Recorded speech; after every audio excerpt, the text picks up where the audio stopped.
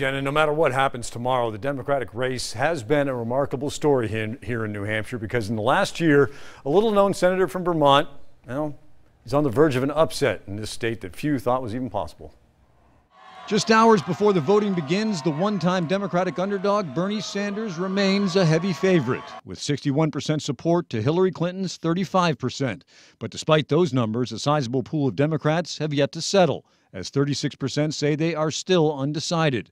And as UNH pollster Andy Smith points out, much of Sanders' support comes from the younger electorate, many of whom are first time voters. If those people come out in the kind of numbers that we're seeing in a poll right now, he could win really big uh, because of the weather, because of campaign factors. If the Clinton machine can really pull people out from their side like they did in 2008, it could be a much closer race. If Clinton gets this into single digits, she could claim it's a win like her husband did in 92 and go off to South Carolina. On the other side, with 31% support, Donald Trump heads into the primary election the clear favorite in the Republican field. And that's just about the closest thing you'll find to a sure thing because from there, Marco Rubio, Ted Cruz, and John Kasich are all within the margin of error.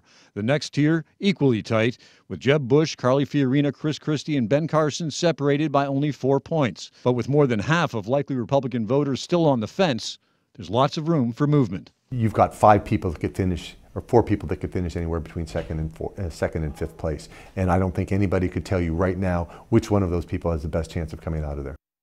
All right, so after months of polls, it's just about time to turn to the numbers that matter. And with so many people waiting until the last minute, it's fair to say that there could be a surprise or two come election night. Reporting live, Josh McElveen, WMUR News 9.